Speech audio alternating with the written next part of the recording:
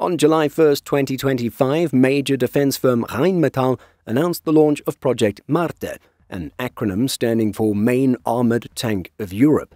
This, the firm says, will be a cutting edge and highly promising initiative designed to strengthen Europe's technological autonomy by addressing the crucial asset of a main battle tank or MBT system. This multinational project will see input from 51 legal entities from 12 European countries. Incredible. Let's take a look at Project Marte for today's video. In announcing this project, we can see that a company has been established by the name of Marte Arge GBR. This is a joint venture between KNDS Deutschland and Rheinmetall Landsysteme.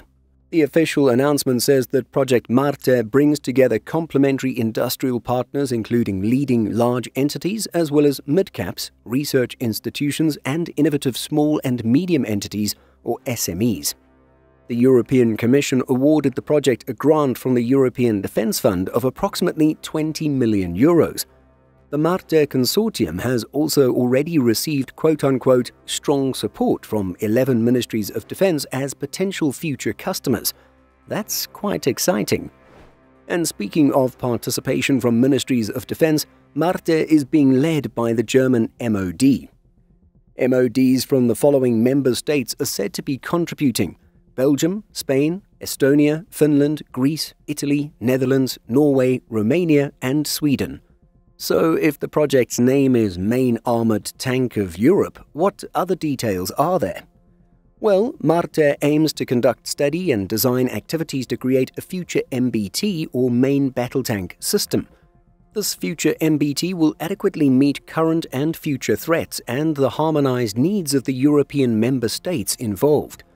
As we mentioned earlier, Marte sees involvement from 51 legal entities from 12 European countries, 11 member states plus Norway.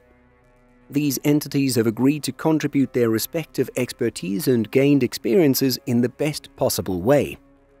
In its role as coordinator, Marte Arge handles project coordination and manages the project with support of the consulting company Erdyn and a core team of five top tier defense companies KNDS Deutschland and Rheinmetall Landsysteme, both German, as well as Leonardo of Italy, Spain's Indra Sistemas, and Saab of Sweden. The official press release says that Marte will build on these companies' pertinent and significant know how and know why in the field of main battle tanks, and each of them will manage one of the five technical work packages in which the project scope has been clustered. So that's all the information that has been officially put out on this exciting new project. To us, it already feels like the Leopard 2 main battle tank is more or less Europe's primary choice in this category. Sure, a couple participating countries have militaries that currently do not have tanks, such as Estonia and Belgium, while a couple use tanks that are not Leopards, Italy and Romania. However, most countries on the list do use Leopard 2 tanks or their national variations, while many more European countries not on the list have chosen the Leopard 2 as well. Taking this into consideration and seeing that Rheinmetall itself is involved with the Leopard 2 program, then it's all but certain that Marte will be the successor to the popular German tank. While it's exciting to see so many countries involved with this program, it could also be something to worry about. Maybe you've heard of the phrases, too many cooks spoil the broth, or too many cooks in the kitchen. Sometimes, when so many parties are involved, it leads to disagreement and increased potential for being deadlocked. The FCAS, or Future Combat Air System Next Generation Fighter Jet, is one example. At the time we're making this video, France and Germany are supposed to be working together on this project, but have some major disagreements on how to proceed.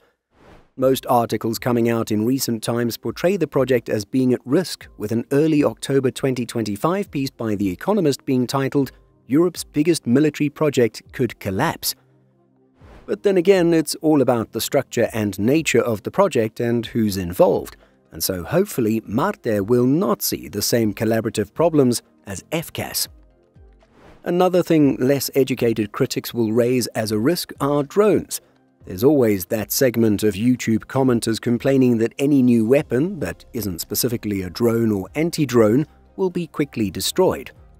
We'll probably make a larger video addressing this myth, but for now, we'll just say that tanks and other vehicles on the battlefield simply need to be accompanied by counter drone technology slash air defense.